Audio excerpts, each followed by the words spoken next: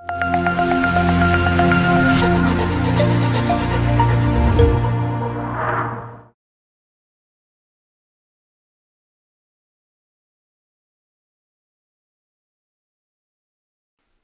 good, good morning, everybody.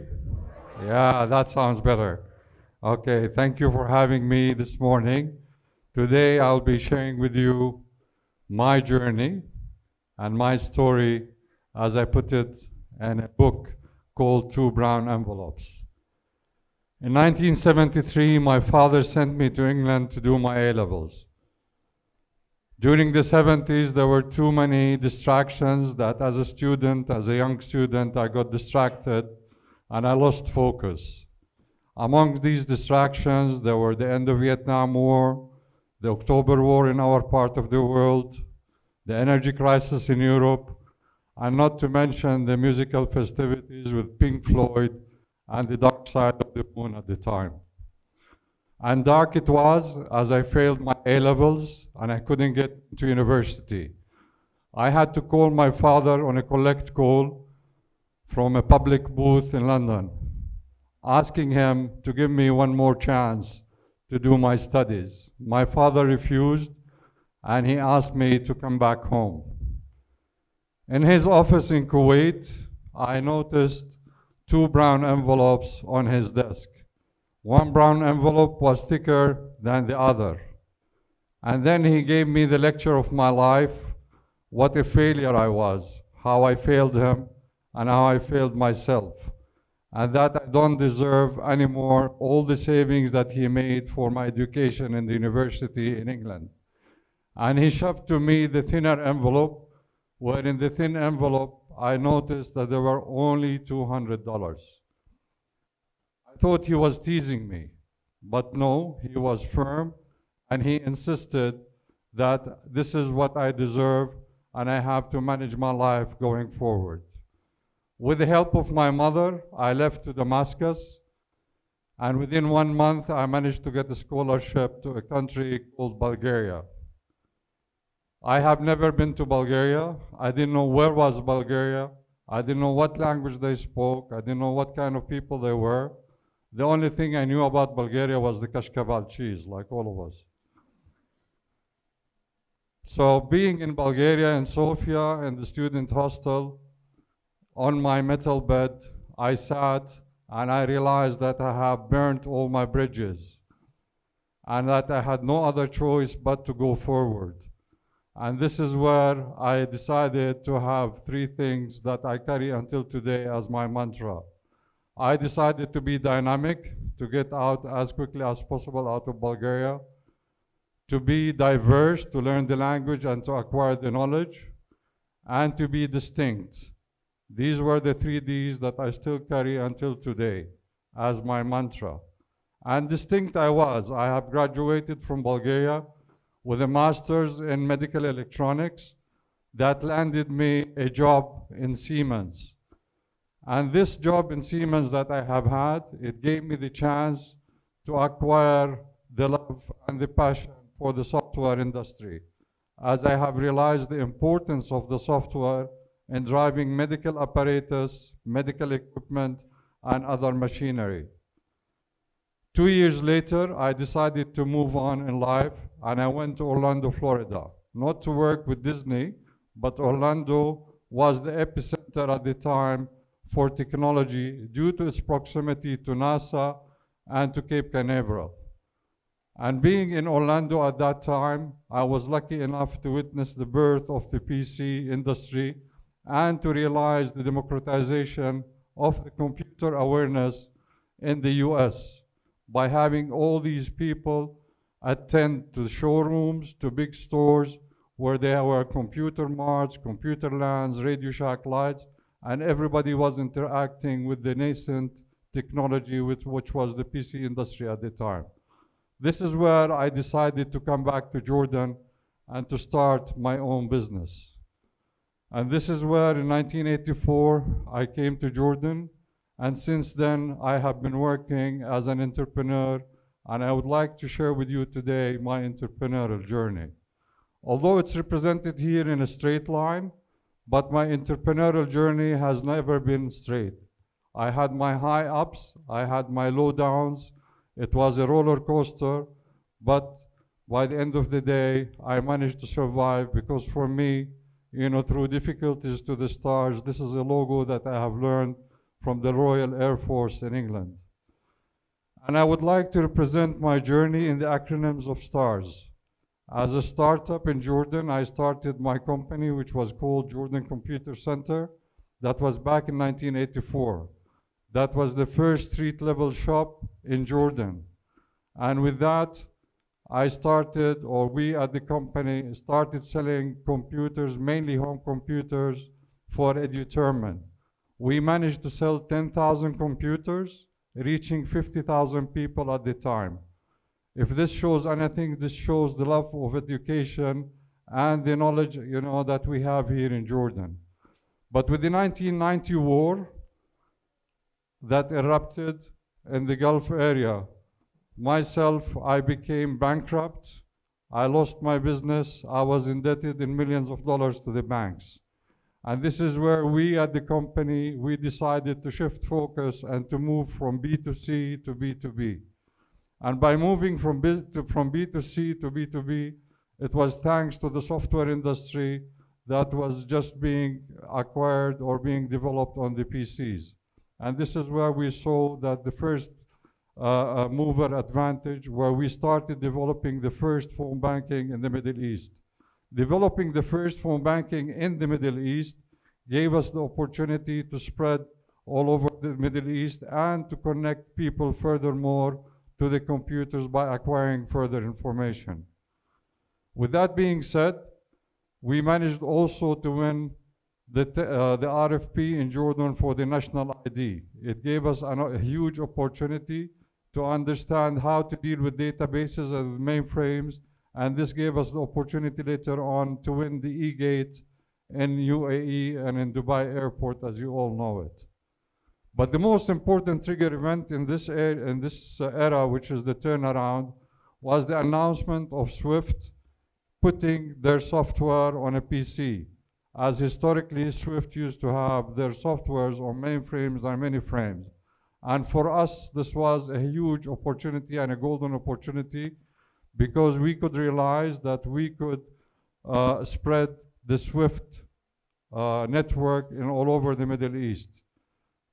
This is where, you know, we decided to move on and we became a SWIFT business partner in the Middle East. Becoming a SWIFT business partner in the Middle East, we uh, branched out to Dubai and we established a SWIFT service bureau to connect banks in the Middle East.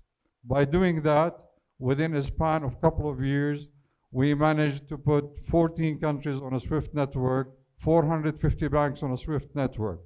The importance of that here, we started creating financial inclusion, not only for people, but only for banks and for countries, because we gave countries the chance to import, to export, to trade, to have remittances, to have financial uh, uh, uh, inclusion in their country, and you know helping these countries for prosperity. This, you know, our our uh, MENA region that we were covering was from Pakistan south to Libya west. We covered all over the Middle East, and we interacted with all the banks that gave us a huge opportunity. As you all know, SWIFT today has 11,000 banks that are connected to each other via the SWIFT hub. And having the Middle East to be connected to the international or to the global network of financial uh, services was something great and a great achievement for us at EastNets. As you all know, SWIFT transfers on daily basis $5 trillion of transfers and these $5 trillion are almost equal to quadrillion dollar a year. In these quadrillion dollar a year, we are talking about $2 trillion of illicit money. Illicit money that is uh, uh, by the organized crime, which puts the organized crime as the third economy in the world after US, China, then becomes the organized crime. And this is something of, uh, uh of gravity and something that uh, uh, anybody has to look at. But with the 11th of September coming, and the disaster that took place, we have realized the importance of combating financial terrorism, and we have realized that we need all of us to live in a safe and secure world. And this is where we realized also the importance of the compliance software. We raised capital out of the Gulf and we acquired the company in Belgium. By doing this, we were exactly moving like the salmon fish. We were moving against the stream and against the flow. And this triggered INSEAD University to write a case study about EastNets because we were the only Middle Eastern company that has acquired a European-based company in technology. But the importance, you know, of all of this, that we managed to transfer knowledge out of Belgium to Jordan, where we have now all of our back office, we have all of our engineers that are serving 800 banks globally out of Jordan. With that being said, that was a time, you know, for an accelerated growth because we could attract investors. And among the investors that we have attracted were the World Bank, where the World Bank, you know, came and gave us a subscription agreement for $10 million. Unfortunately, in 2008, the financial crime, uh, the financial crisis hit us, and this is where the World Bank, which is with their arm IFC, they decided to pull their offer, leaving us high and dry. And this is where, you know, we at the company had to start looking, you know, how to defend our core and how to defend our new business that we are spreading with it globally. At this time, and, uh, uh, uh, you know, we decided to get a loan, and this is where we opted to go for uh, investment bankers, and we got a bridge finance. This bridge finance had tough conditions. These tough conditions were more or less related to put options that we had to meet in a year's time. In a year's time, we could not meet the put options, and myself being the guarantor of the company, I was subjected to harsh conditions. Luckily, I was in Jordan. I realized I was sentenced to three years imprisonment in absentia, and I was put on the Interpol list, and I was wanted. You know, myself, I became a criminal, although I was fighting, you know, financial crime uh, globally. And this is where, you know, in the company, we started all the realignment. Out of Jordan, we realigned all our sources, all our functionalities, we retrained ourselves, and this is where we have focused furthermore on going forward and how we take the company to a better. But as life goes in parallel, as you all know it, you know, this is where I had to park my problem, but at the same time to manage the company because we have objective of servicing our uh, uh, customers, and at the same time we had to continue with the development with the uh, uh speed moving uh, technologies that we are dealing with. Couple of years later, we managed to settle all our uh, uh, issues with the uh, investment bank in Dubai, and I managed to go back.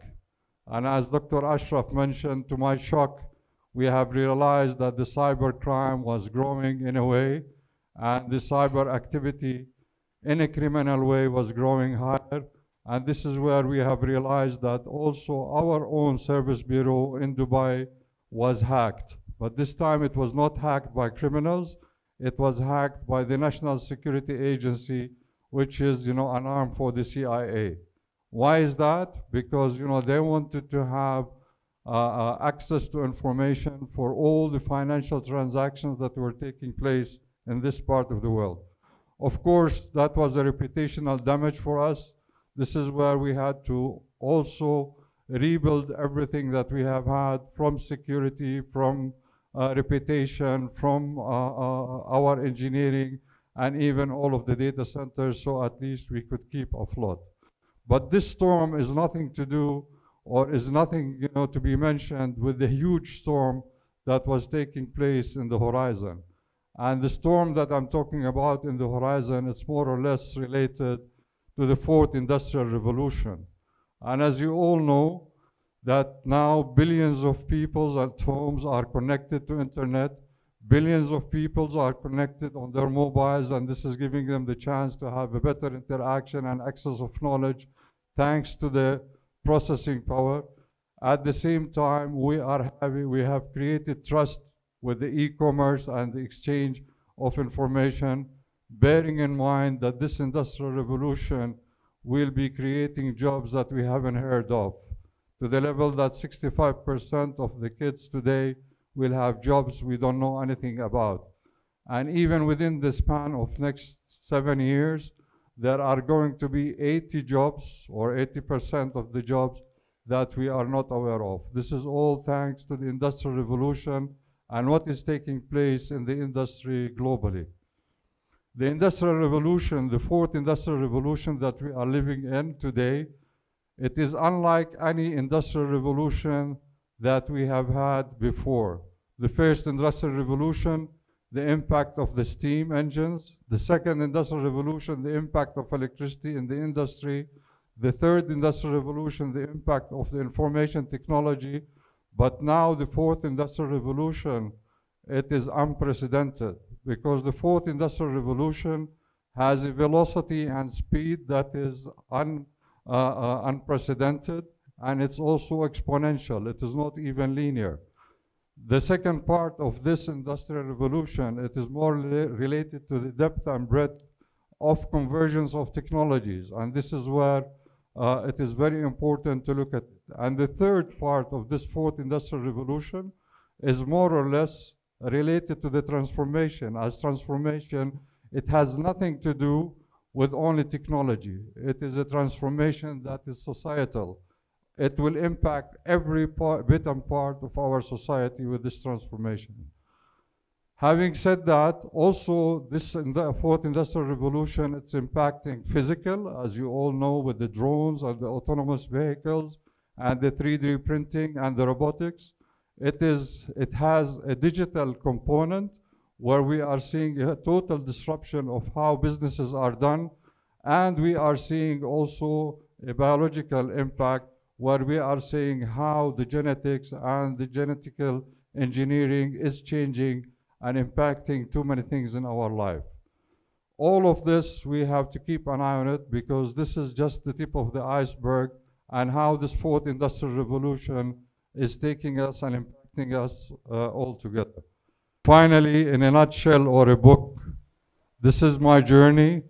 I have written a book. I would hopefully that to share with you but also, I want to tell you one thing, that I'm sure that each one of you, in a certain moment, he will have the two brown envelopes moment. This is standing on a crossroad between the past and the future. This is standing on a crossroad between failure and success. This is standing on a crossroad or a fork river between being optimistic and pessimistic. This is standing on a, on a crossroad of saying, no, I cannot do it, or I can do attitude. So I will advise you all, all the time, to pull the empty envelope and fill it up with your hard work and your perseverance. Thank you.